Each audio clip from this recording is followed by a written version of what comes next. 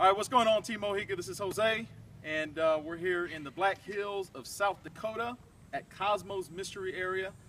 This is for Mary Schmotzers earning her TOOGOOD bonus entry. Congratulations. This is for you.